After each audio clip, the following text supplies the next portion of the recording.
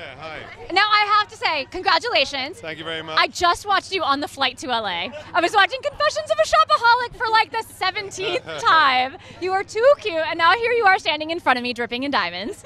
You guys are such a beautiful couple. Do you guys? Me. Yeah. Yes, exactly. That's exactly where I was going. She's beautiful, but you're just like a vision. Exactly. And White shirt. That's quite Bob well. and you're a vision in velvet, which I have to let you know is one of the biggest trends among the men this evening. Did oh, you? Well, Of course. I mean, I only do trendy things. I like to follow the fashions rigorously. Do you help him out a little, or no? He probably helps you. Yes, he's the Yes. trendsetter, and I just follow his suit. No, did I see you dye your hair blonde on Instagram a couple of days ago, and now you're here with your beautiful red hair? Can you explain what happened? I, it was a wig for a project. I thought it was a fun post. I didn't realize it looked authentic in the remotely. Because you said now people won't mix me up with Amy Adams with the blonde hair. I'm so happy it's back to red. Thank you. Did you love her as a blonde? Um, I didn't realize it was a wig, actually. So You yeah. didn't either? No, I had no idea. So you you know. thought you were coming home I to like a blonde wife. Yes, I thought it was somebody different. It was just yeah. It was just exciting, Right? It was halfway through the night that I realized I wasn't cheating. It was very disappointing. Now, speaking of a little love, the big trend tonight, do you know what it is for couples on the carpet? Is it? Uh, it's not making love on the carpet, is it? So be it. Live on E tonight. It's actually a little limo love. It's a what? Limo love. It's making love inside In a the limo. limo. Oh really? That's happening out there. Did you know that? I did not. I did not see Did it. that actually. happen? It did. It, I'm glad that you brought this up Yeah. because it did. It Yeah. did. Oh and it was pretty good. Let me tell you, it's not often you get to be with a Golden Globe nominee.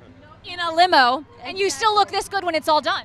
That's the benefit of a big puffy dress. How excited are you to be here nominated for this show that has completely changed the conversation about how we see so many of these political issues?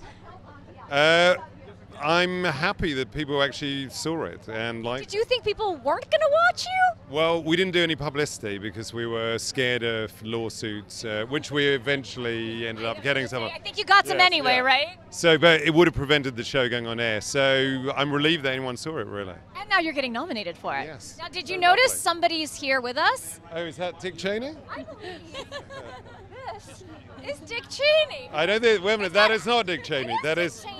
That is the Christian Bale's Dick Cheney. it's Christian Bale Pretty as similar. Pretty similar. By the way, he transform. I mean, you're somebody that transforms for so many characters. What did you think of his transformation for Vice? I thought it was lovely. I thought I thought his silicon was great. I thought the bodysuit was fantastic. I thought it was a wonderful transformation. He did the accent and everything. He nailed it, right? Yeah, I don't. I don't think he quite got the absolute evil of Dick Cheney. I haven't spent two hours with him, but he was on his way. How close did he get? Because you actually got to sit down with him. I mean, uh, it was an interesting experience because um, I was worried that Dick Cheney, being the vice president and quite intelligent, would see through the see through the fact that I was wearing a prosthetic head.